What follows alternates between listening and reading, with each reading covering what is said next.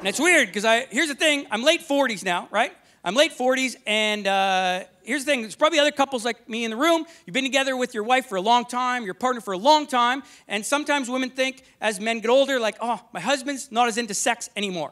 He doesn't like sex anymore. And here's the thing, ladies we still like it, we still want to, we just can't as often, okay?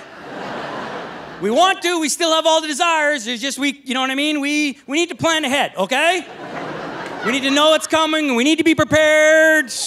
We have to psych ourselves up a little bit for it, you know what I mean? Because in our 20s, didn't matter. Anytime you were ready, we were ready to go. We could go, we could have just masturbated and then we're still ready to go. Like, boom, boom, I'm ready. Who needs it? You know what I mean? In your 20s, your dick is a six shooter, just like bang, bang, bang. You're over there now, bang, boom, boom. You didn't care. You never thought about how many bullets you had in that chamber. It was always ready. Bang, bang. But when you get late 40s, that six shooter turns into an old musket, okay? you go from six shots to one shot a day. Then the rest of the day, you're just packing it down, getting it ready for the next day. Just... I mean, in your 20s, you never thought about it. You know what I mean? You could be like, you were like a machine gun soldier. You're just like, I'm gonna hit something, don't worry about where the bullets go. Bang! You get late 40s, you turn into like an old British soldier on the battlefield. You gotta like, oh, the enemy's gonna have to get way closer. I only got one chance at this. way closer. Wait till you see the whites of their eyes. Get a little. Might have to use the bayonet on this one. I don't know. I think.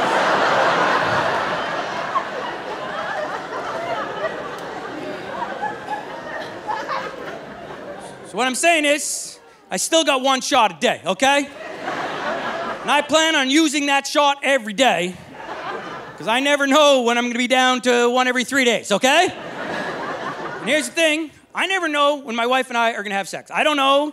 I, I, don't know. I don't know how she decides. Um, I know it has nothing to do with me. I have no say. No say in it whatsoever, okay? I don't know how she decides. Maybe there's some smudging involved. There's a moon cycle or some sort of thing that had to happen. Maybe she's got a giant wheel she just spins. She's like,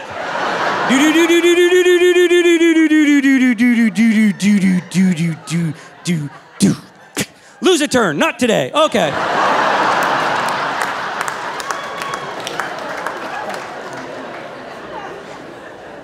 So, my point is this some days, I might be home by myself and think, you know what? I could really use some target practice today.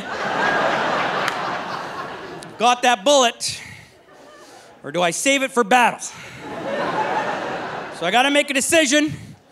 I gotta play a little game to try and figure out if I should save it for later. You know what I mean? Because I don't know what's gonna happen, right? Like, so I start playing a game and start trying to piece it together see if I'm gonna get sex later. I'll be like, okay, she didn't say I love you when she left. that doesn't look good for me. She does have that client from work she thinks really hot. That's pretty good for me. She seemed pretty mad about the pee drops on the floor. right? Then what if she comes home, right? And she, she'd say, Hey, do you want a little sexy time? I don't want to tell her the truth. I can't be like, Ah, I'd love to, but I was watching Instagram late, earlier. and this girl was really good at golf, honey. Oh my God. Three feet from the pin, tight draw, tight draw. I would never do that. I'd have to make up a big lie. I'd have to look her right in the eyes and be like, oh, I'd love to, honey, but I think I'm having a heart attack. Ah!